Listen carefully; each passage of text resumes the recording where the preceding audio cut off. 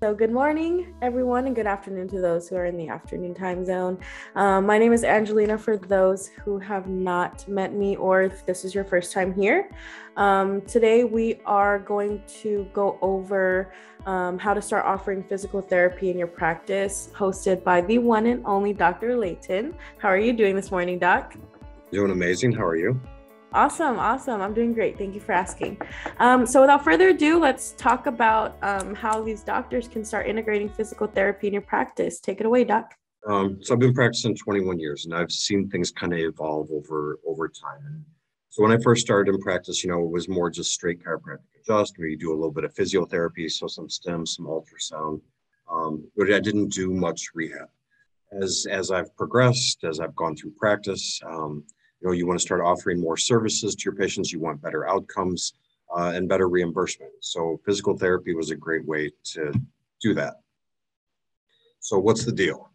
Giving physical therapy to your patients uh, providing it for your patients for their treatment it, it improves patient outcomes so you're going to get them better you're going to get them better faster um, they're going to get better results um, you're going to be seen as their expert um, it goes beyond just the adjustment then that you can adjust them and then you can turn around and have them do you know pelvic tilts and bridges and stretch their hamstrings and hip flexors. And so you're giving them useful um, exercises to help with their condition and get them better.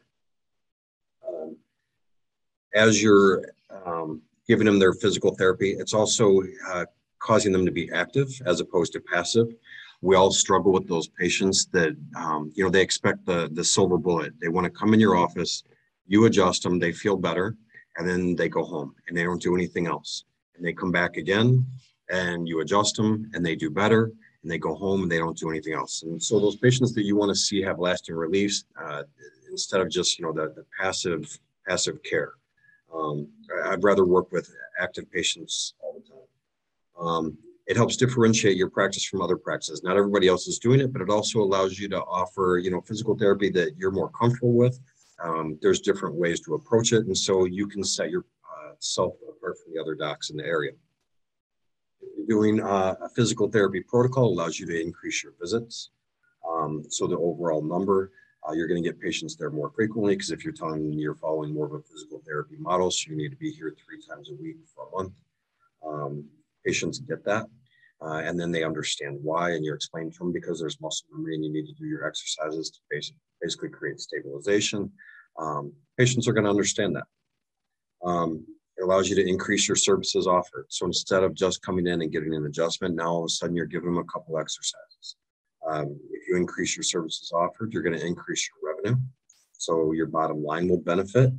Um, and as you do this long enough, well enough, you're going to start to get referrals. So I have patients that will come from their doctor and they've got a script for PT for like an ankle rehab, knee rehab, uh, knee rehab, shoulder rehab, um, low back and neck rehab. Um, people that are in car accidents they're sent to you and they're doing. So um, the more you do it, the better you are at it, the more people you're going to see coming through your door for it. So where do you begin? Um, so for the docs out there that aren't doing any PT in their office, um, it doesn't have to be an expensive uh, transition to be able to bring it into your office. Uh, you you can do it with just using a wall, having them doing a standing pelvic tilt up against the wall. They can do a pelvic tilt on the table. You can teach them how to stretch their hamstrings, uh, their hip flexors. That doesn't require any equipment for anything like that. You're just literally having them do it um, right there in the office. Um, it doesn't take up space when you're doing it that way. Um, so the different different codes we can bill out, uh, TherEx, so that's 97110, manual therapy 97140, group theory, therapy 97150, therapeutic uh, activities, those typically uh, reimburse the best, that's the 97530, self-care home management training 97535, and then the neuromuscular rehab 97113. What do all those codes mean? Uh, they're, they're codes that are built out in 15 minute increments. So you capture your first code at the eight minute mark.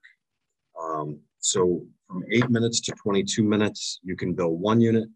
From 23 to 37, you're billing two, and so on. Um, so the most common one that we use is, is TherEx, so the 97110. So there's the definition by um, kind of like the letter of the law. That's when you're when you're trying to figure out what exercise you want to give and where does it fall into in the categories of uh, the billing scheme. Um, anything to develop strength, endurance, range of motion, and flexibility. So if you're having a patient do uh, foam roll work, so they're improving the range of motion, their flexibility, um, that falls under 97110. If you're doing things like hamstring stretch, glutes piriformis stretch, stretching your traps, that falls under all those exercises. If you're having to do anything with dumbbells, you're developing strength. Um, so anything that they do for core, that's strength. That's all 9, 97110. Neuromuscular rehab. Um, so uh, re-education of movement, balance, coordination, kinesthetic sense, posture, and or proprioception. Uh, some docs do this, some docs don't. Um, but you know, some of the stuff that you do can fall under that. Uh, whether if you're doing some things for Bosu ball to get their balance back, uh, especially uh, some of your patients that are a little bit older, or maybe they have a neurological condition that you're working with. Uh, the therapeutic activities, so the dynamic activities to to improve uh, functional performance. So these are going to be your bigger um, bigger movements. Maybe you're using kettlebells in the office, things like that. Again, so it's a dynamic activity. And so, you know, just like when we know there's dynamic stretching and, and static stretching, there's dynamic activities.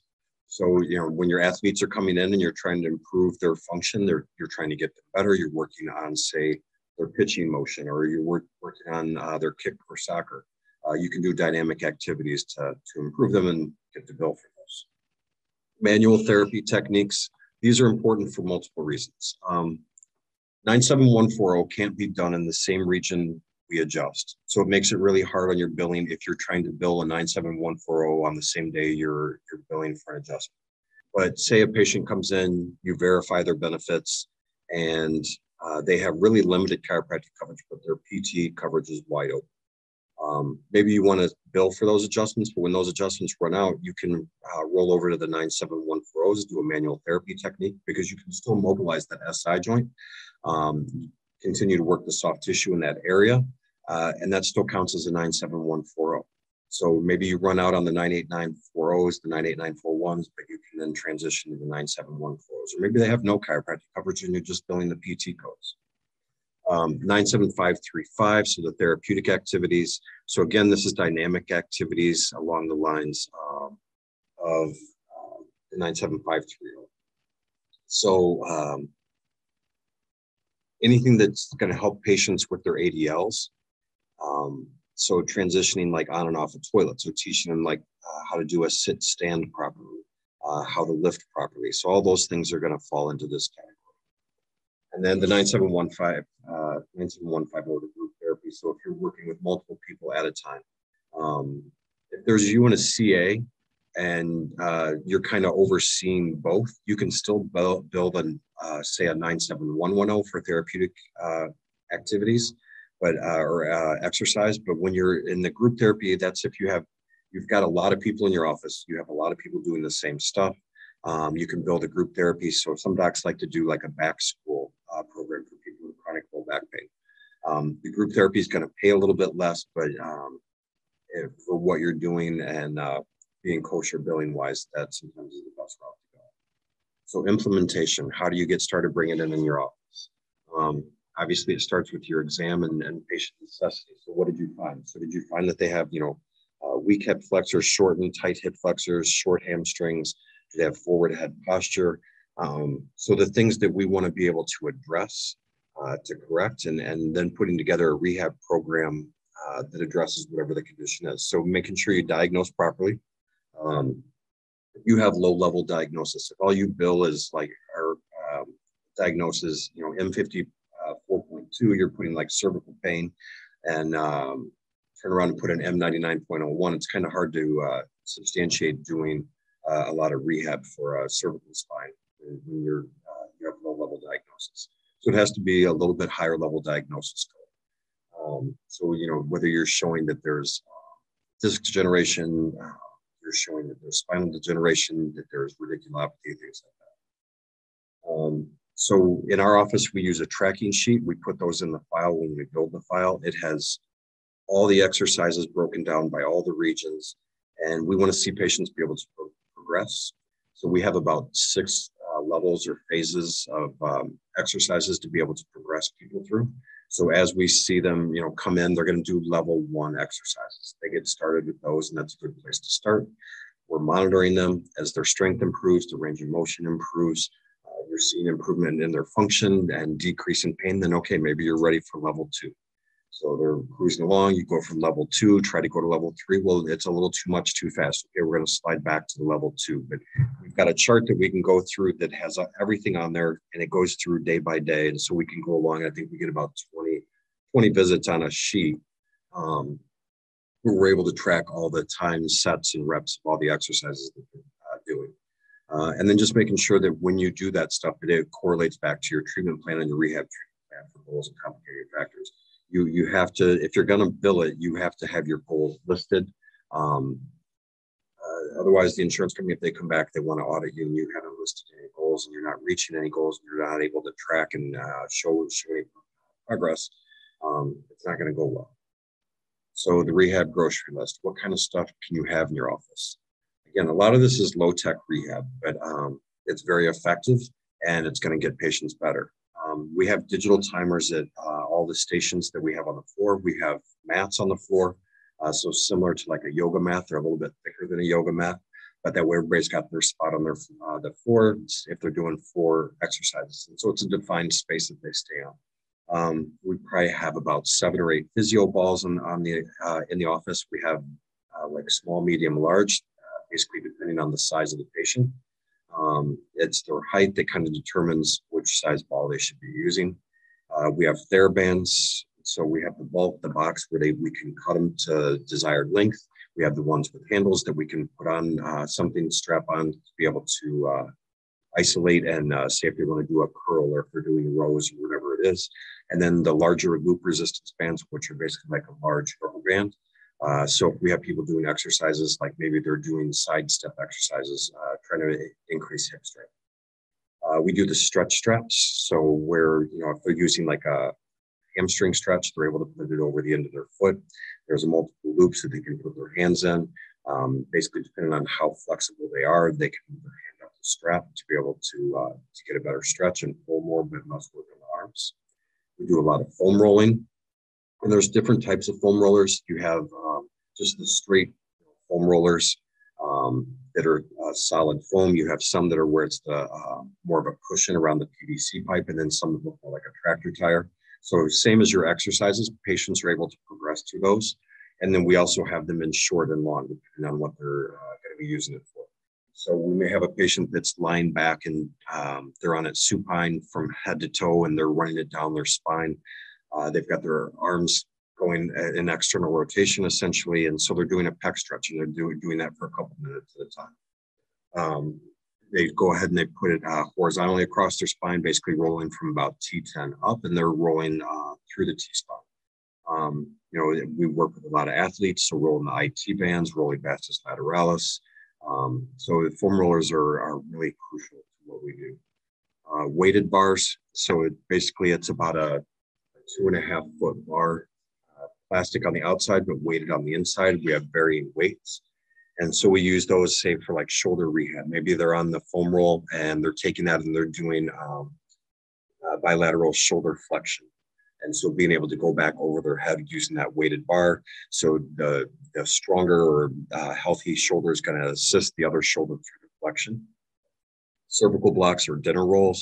Um, so Dennerolls, the uh, the name brand, but you can buy kind of the generic cervical blocks when you're trying to do uh, um, cervical curve correction. And then Bosu balls. Um, so again, working on balance, and then the Bosu ball will flip and uh, being able to use it again as like the wobble. So again, wobble boards. Uh, again, we're doing rehab with um, ankles, knees. So being able to take patients where they're going back and forth and side to side, the wooden pole or rod. So again, kind of like the shoulder rehab, we can take a patient and uh, have them basically using their, their good arm or shoulder to uh, force the, the injured side that we're trying to correct into flexion, abduction, external rotation. Um, medicine balls, everybody knows what a medicine ball is. So basically something the size of a basketball that's weighted. Trigger point balls. So we'll have patients um, sitting on their mat. They've got the trigger point ball. Maybe they put it under their into their hamstring or into their calves. They're rolling through those. Uh, they may put it in the quad and roll, or they uh, may put it somewhere like around uh, levator scap insertion and they're rolling their upper back. Uh, we have the Precor stretching unit. Uh, so patients, again, they can uh, be seated and they can go through the stretches without having to lie down. Uh, dumbbells and dumbbells are useful for a lot of stuff. And most of us think, you know, uh, arms, shoulders, but you can also have a patient on the floor, basically doing kind of like a, a, dog position, you know, on all fours. Uh, and then turn around and they can put the, the dumbbell in the back of the knee doing hip extension. Um, the core balls, which again, it's about the size of a volleyball, uh, kind of a squishy ball, almost like what you imagine your little kids playing with. But uh, we use that for uh, pelvic tilts with adduction, but also tucking it under the pelvis as you have patients doing uh, hip flexion. And then Stroop straps. Uh, so it's a, basically a handle on either end. It's got a uh, cord that runs through a, a foam liner and so patients can put that around the back of the neck. They pull on the straps, pull down, and then they do cervical uh, extension and distraction, being able to strengthen the C spine and again help with uh, curve, um, if they have a curve reversal or loss of the cervical curve. So the strengthen it, restore that curve. Uh, and then we also do like the Pettibon traction. So the cervical traction over the door, you can run um, where it's got the pegs on the wall uh, to be able to adjust the height for it. so again, nothing super expensive. I, the most expensive thing on there probably is the Precor stretching unit, but outside of that, most of the stuff is you know um, twenty dollars or less. So why would you want to start offering the physical therapy? Uh, it's low tech rehab reproducible by your patients. So you can go and give a prescription to your patient, and uh, you're able to have them reproduce it. They're going to get better faster. You're able to uh, bill for giving them a home care exercise.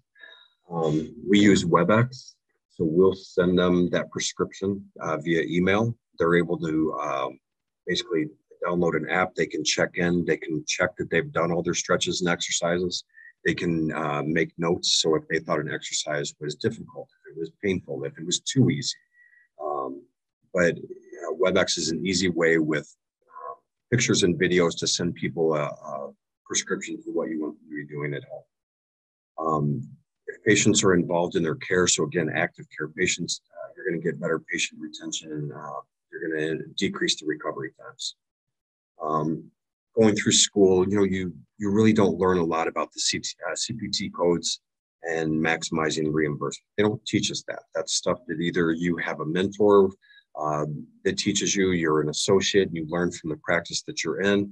Uh, but there's somebody along the line typically that's teaching you that once you're you're out of school. You learn at a seminar, um, but it's it's a way to reimburse uh, for your services because a lot of docs are were doing this stuff and they're just showing their patients they don't even realize that they can bill for. Um, so being able to re- uh, increase your reimbursement and not having to um, increase the patient volume to get better reimbursement. Awesome. Thank you so much, Dr. Layton, for that meeting. Um, so I do have a question. Uh, when it comes to like your physical therapy setup, I'm you mentioned a lot of different um, different uh, resources that they can use in terms of like actually helping the patient get better. Um, but do you, in terms of like setting it up, do you have that integrated into like your chiropractic rooms? Do you have a completely separate room for physical therapy? How do you set that uh, physical therapy stuff in your practice? So we do more of the open, uh, open format. So our physical therapy area runs basically right into our adjusting area. We have two kind of like shelving units. Some doctors use half walls. Uh, that divide the adjusting tables um, uh, physical uh, therapy area. So it kind of creates a little bit of divider, uh, a little bit of space, a little bit of privacy. Um, but I can see from where I'm adjusting because the tables are head in and there's a desk with a computer in between. So I, it makes it easy to give notes. Um, but all the spots on the floor then are available and I can see all those. Um, so we have about eight spots on the floor I can see all eight of those at one time. That doesn't include the the uh, therapy tables that we have people doing rehab So some of our elderly people, we just know they can't get on the floor. So we have um, three separate tables that they're able to um, lie on and see if they're doing their hamstring stretch, pelvic tilts, whatever it is. Gotcha. But it's gotcha. it's all open format, so we can see everything. Mm-hmm. And is this all in like one room? Uh, it is. Okay, gotcha, gotcha. Then- okay. Ahead. Oh, okay, and then I do have one more question. Um, so it was just more like a question of curiosity. When the way that I imagine it, I'm pretty sure you can either offer physical therapy when you're going through the day two process and basically getting the patient on some kind of treatment plan for chiropractic care. But do you typically push out that combination of physical therapy in the beginning, meaning like on that day two process, or is this something that you incorporate throughout their treatment plan and then you suggest later on the line? Um, it's, we address that in the day two. And, Okay. and my, if it's a patient that's a referral, they already know that's what we do in our practice because Gotcha. We do that with such a large percentage of our patients. Um, but in that day two, when I'm you know walking walking through my day two, and I give them their options. You know, you can come in and just do chiropractic care, just get adjusted.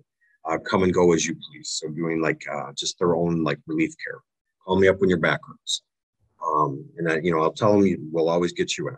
And then option number two, come in. You're going to do uh, chiropractic care, and we're going to uh, coordinate that with the physical therapist. So doing all the rehab. So we're doing corrective care.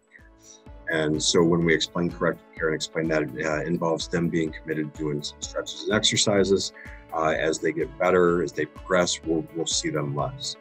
Um, so it's laid out in the day to giving them the option. Um, and but we we give them the lay of the land so they understand what that's going to look. like. Mm-hmm.